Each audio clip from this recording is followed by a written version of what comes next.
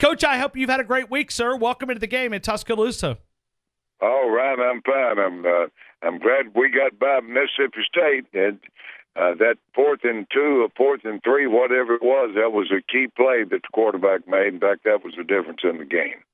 Well, Coach, it was a hostile environment, and, and let me start with that quarterback. What does it do when when you talk about a, a gamer like Jalen Hurts, the confidence that he has, and not rattled, ice water through the veins, and to be able to put the team on his back and, and carry that team to a W? Well, he he just did, that was an outstanding game. You go back and look; most games are, are settled on two or three plays, and that one, uh, if if Mississippi State had blitzed or, or stopped the quarterback, then they would have probably won the game. But they didn't, and you can just see the confidence in the Alabama team as they moved that ball on down and got the final touchdown. So uh, the, Alabama did not lose their poise. Uh, they were in a hostile environment uh, and playing a tough game like that probably is really good for them because they're going to be playing another hostile environment when they play Auburn.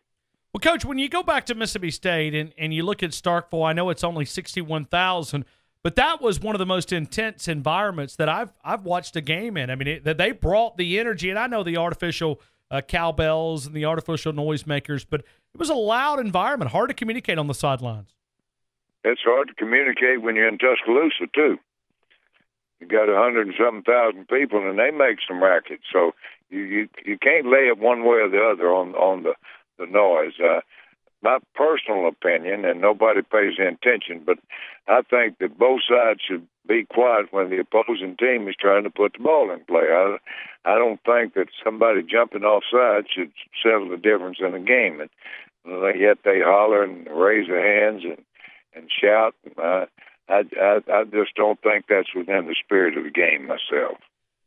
Coach, let me ask you on the defensive side of the football for Alabama, what what you see? Because it, it wasn't, you know, one of your typical shut them down type defense. Uh, Mississippi State had a lot of success, especially on third down. Well, they, you know, the Mississippi State's got a good football team. They just annihilated A and M, and and uh, they they played well, and and uh, Alabama has not played their best game. They, in fact, statistically, they didn't play all that good against Georgia Tech.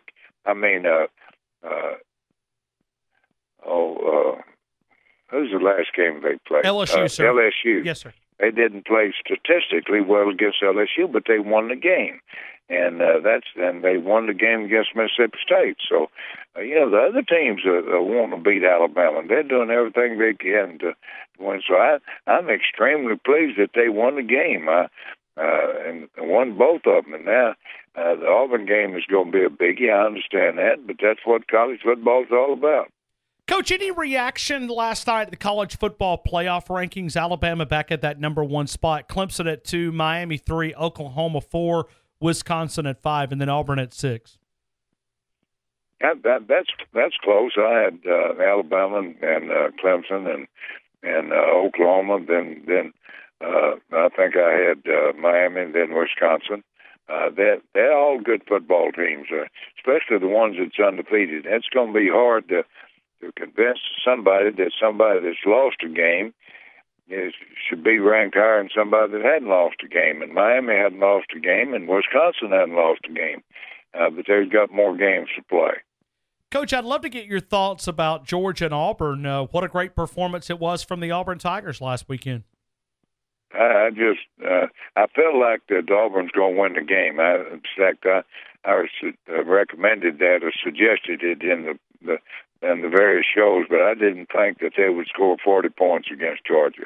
Uh, that that tells me that they're playing at the height of their game, and and they're going to be. You can't believe how excited they are to play Alabama and Auburn. I wish the game was played in in Tuscaloosa, but it's not, and and that's what college football is all about. That's that's going to be uh, the game of the century, really. Coach, when you look at uh, obviously Auburn and, that front seven, uh, even against Mississippi State, how effective do you think a screenplay would kind of help you a little bit, slowing down that aggressive front, not only uh, against the Auburn Tigers, but even all these aggressive fronts as Alabama will begin to see? Well, I'm, I'm you know I'm not going to get into what's good and what's not, but uh, the screen always slows down the rush. In fact, good football teams run the screen. Now they run the screen to the wide receiver and and uh, breaking him back in behind uh, the blockers. There's several ways to run the screen, but uh, good football teams run the screen. There's no question about that. Coach, uh, certainly uh, want to want to talk a lot of uh, Alabama football, but but from being where you have been under Coach Bryant here in, in the 60s, was part of national championships. You came back to the University of Alabama, uh, won a national title in 92. Can you help us if you were explaining the Alabama Auburn rivalry to an outsider, someone from not from the state? How would you explain the, the Alabama Auburn rivalry from your perspective? Well, I'll, I'll start off uh, explaining the Texas A&M Texas rivalry. The people talk about it the week before the game and talk about it the week after the game. The Alabama Auburn game, they talk about every day of the week. Uh, somebody somewhere is talking about the Alabama Auburn game, so that uh, that that puts the, um, the the magnitude of the importance of that game because uh, not only do they talk about it the week before the game and the week after, but they discuss it every day uh, uh, during the entire year. So that that's the difference in the rivalries between Alabama and Auburn and most of the other rivalries. Coach, I, I just got a, uh, a text message a couple of minutes ago. I, I was supposed to remind and talk about this. Uh, you're going to be coming to our our town, uh, Birmingham, Alabama, uh, with Coach Pat Dye this coming weekend. It's Sunday, eight seven p.m. is when the doors open. Eight p.m. and that is going to be uh, you and Coach Dye get together for a little speaking engagement uh, this weekend. Yeah, we are. We're to. Uh, we, in fact, that's it, was scheduled uh, uh, two or three months ago, and I had a stroke, and we, we put it back off, and so now uh, we are going to be there this Sunday, and hopefully the people will come out and. And Pat and I are good friends, and uh, uh, it'll be an opportunity for us to talk about the Alabama Auburn game. And I'll be pushing Alabama, and he'll be pushing Auburn, and and uh, hopefully the people will come out and, and have a fun afternoon, fun evening. Iron City Birmingham, and, and it's actually it's ironcitybham.com is the website. You can actually buy tickets right now, ironcitybham.com. Uh, Coach, when you look at Mercer, how hard is it to to don't even know where Mercer is? Georgia. It's in Georgia. Yes, sir. Okay. Yes, sir. They are. Yeah.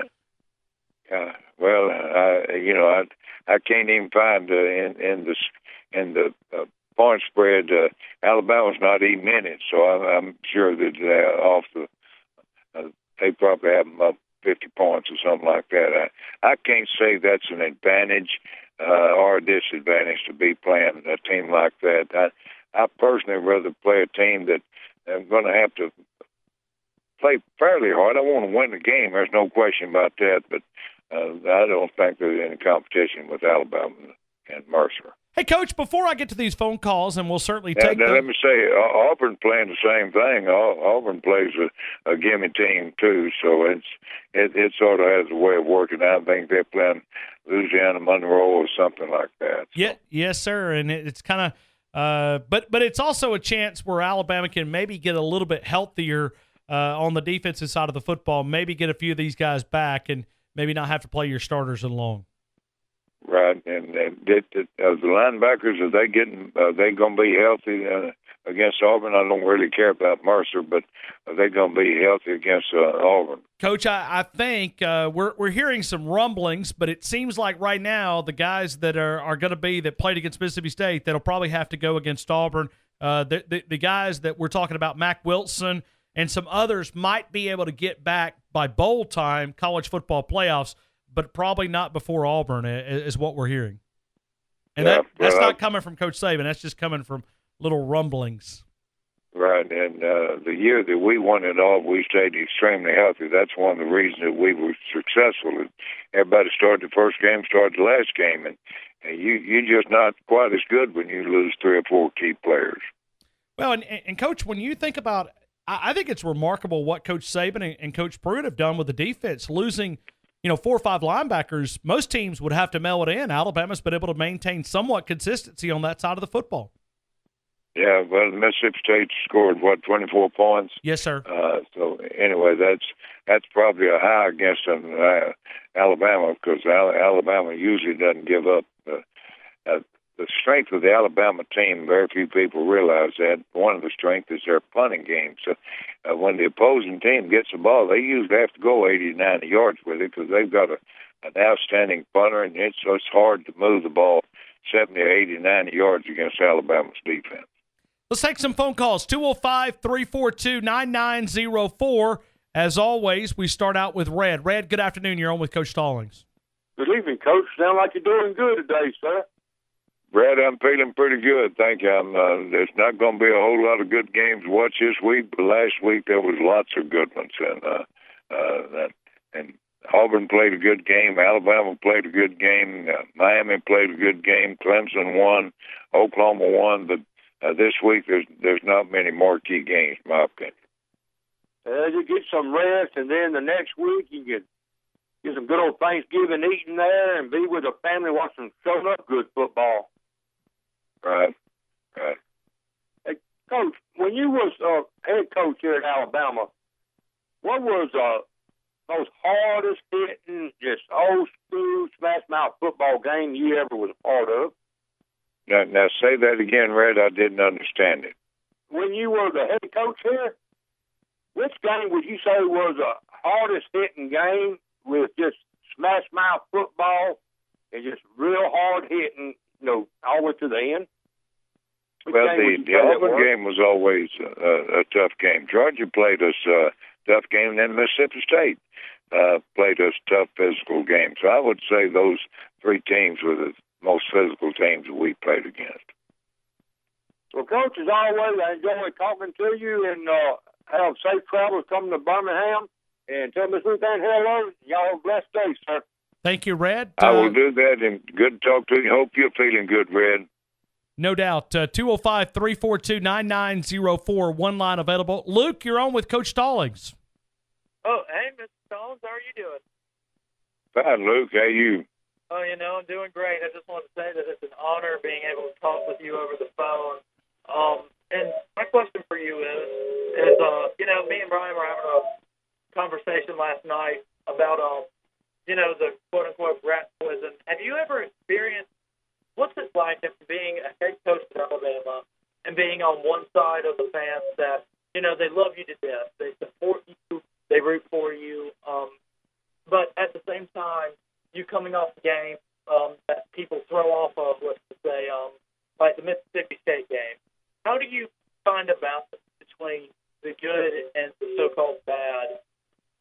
Right, Ryan, we we're sort of breaking out. What was the question that he asked? Well, Coach, he was talking about trying to find the, the balance between the good and the bad. And I don't know if you, are aware of this, but uh, the media obviously, you know, they uplift Alabama. And Coach Saban said that he's trying to get his players to listen to him and not to the media. He calls it rat poison, uh, is what Coach Saban calls it. Uh, uh and that's what he's talking about. Coach Saban. I, I, I would say that, that by and large, they listen to Coach Saban uh, you can't keep them from turning on the television and reading the paper, but when it comes right down to it, uh, I will guarantee they'll listen to Coach Saban as opposed to listening to the media. So, uh, but but coach, a lot of a lot of criticism right now against Alabama, and I know you don't feel the same way, but uh, you know this Alabama team is going to hear a little bit negative talk. We're already hearing it here in Tuscaloosa.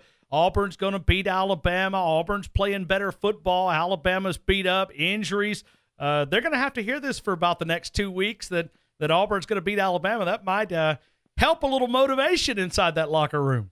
Well, sure, sure, and the game's going to be settled in the arena. It's not going to be settled on what people say or what people think. So, uh, Coach Saban will get his team ready to play, and the Auburn coach will get their team ready to play, and it'll be settled in the arena. But I, I think that it'll be a good football game. I just think Alabama's a better football team. They're higher ranked. They've been ranked all year, and Auburn's getting better. There's no question about that. Uh, who, who would have thought that they would have beat Georgia the way they did, did and and they they've won several games by a, a number of points, but Alabama has too, and I guarantee you when the uh, when the people that make the, the choice on uh, who's who's the best football team, Alabama will be the favorite in that game. Coach, how stressful is it when you look at all these coaching uh, circles right now? A lot of coaches are are getting let go and you know, some coaches that have obviously won some games and, and some that haven't really got the job done. But how stressful is it when you look at all these coaching changes for the players and, you know, having to sort of be dedicated to one guy and then he's leaving, another guy comes in and you have to sort of buy into what he's trying to, to get the team to buy into? Yeah, it's it's very stressful. I you know, I I worry about the guy that loses his job. I don't worry about the guy that gets a gets a good raise and so forth. But those others, and then the coaching profession, uh, win loss records are not always the same. Some people just have better players than others, and and yet we're all expected to to win the games. I know when I was coaching at Texas A&M, my three preseason games was LSU, Ohio State, and Michigan. Well, uh, uh, win loss records are not the same. They, they you take A&M now, they'll play three gimmies. I never had a gimme game. So uh, one loss records are not the same. Coach, that that sounds like a pretty nasty schedule when you talk about a uh, Texas A&M, and certainly you played a great schedule here at Alabama. Uh, but uh, it, it's very difficult in this current day of college football. And those were all on the road. We didn't play any of them at home. And uh, the seven years that I was at A&M, I never had an easy preseason game. We we played Nebraska and all all kinds of. And now people want to be bowl eligible and so they play three games, and just sort of gimme games, and all they have to win is three games, and they're bowl eligible. But back when I was coaching at A and M, you had to win the championship to go to a bowl, but that's not the case now. Well, Coach, uh, I'm glad that you were feeling uh, good and, and, certainly enjoyed the conversation talking about Alabama and Mercer and a little bit of Alabama and Auburn. We won't tell Coach Saban that we worked in the Auburn game, but uh, we'll certainly look forward to doing it again next week, Coach. I hope you have a great week. Well, I, am looking forward to that game, and uh, I hope that they can they can rest some of the players. They they can't overlook Mercer. Like I said, I don't even know where they are, but uh, the game's going to count. So Alabama wants to finish on a strong note. They don't have to beat them sixty to nothing, but they just need to finish on a strong note because it won't be long before they'll be ten it up in Auburn.